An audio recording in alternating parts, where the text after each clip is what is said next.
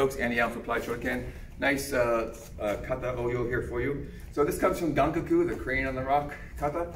And in that kata, there's three manji-ukes.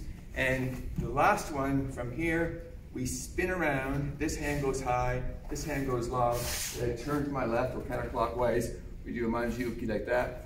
And we drop to one knee with our hands crossed in a juji-uke or your so-called X-block. Okay, so once more, we've got a, a spinning motion. Our hands change positions.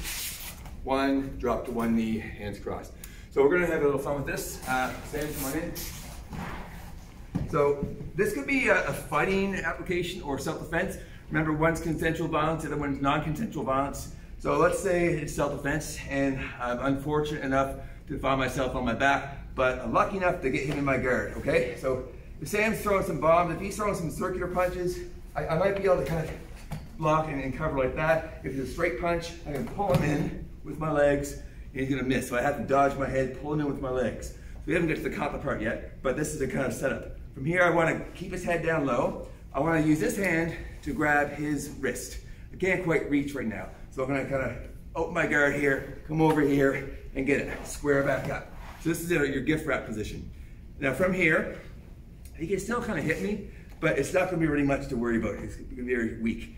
Now this position, I, I wanna keep this tight. I don't want it slipping up like that. I'm gonna be able to sweep him like this. I'm gonna do what's called a pendulum sweep. So in the kata, we come like this, we spin around to our left. We have one hand high. That's going to be under the, the leg. And one hand low. That's the one pulling on this wrist. Okay? So first thing I need to do is get an angle. I'm going to come over here.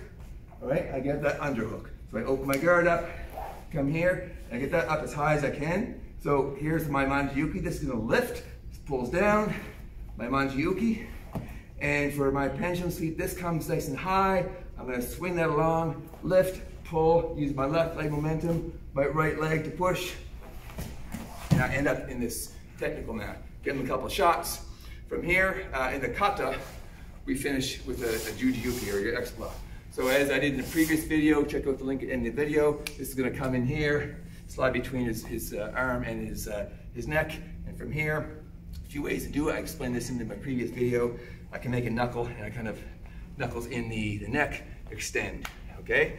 Alternatively, if you have a, a gi on in the street or just a sweatshirt, something long sleeves and sturdy, if I lose that gift wrap, this is gonna come in a cross face position and this is gonna grab my, my gi of my, my uh, other arm, just comes along here and I extend my arms again, once again in that X block or juji-uke. Alternatively, I can cross my hands again like this and this wouldn't be wise in self-defense unless I have my buddies behind my back. I'm just trying to immobilize some drunk dude. I can kind of take the back like this, right? Hold him still or go for, for chokes, okay? So once again, that's Gankaku, where we have the, month, the pendulum sweep. We're lifting the leg, pulling down here. One, we get in a technical mount where one knee's up, one knee's down, finish with our, our choke. Amanda Allen for Applied again. Thanks for watching.